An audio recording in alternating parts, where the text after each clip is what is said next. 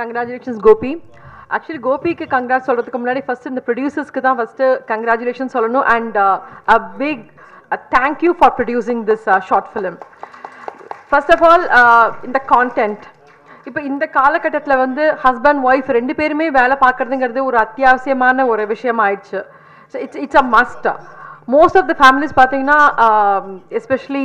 metro சிட்டிஸ்லலாம் வந்து both husband and wife வந்து தே எண்ட் அப் ஒர்க்கிங் அப்போ அந்த மாதிரி சமயத்தில் இவங்க வீட்டில் திவ்யா வீட்டில் நடக்கிற மாதிரி நிறையா என்- நானே பார்த்து கண் கூட பார்த்துருக்கேன் and I'm first of all Divya I don't know your real name Misha Misha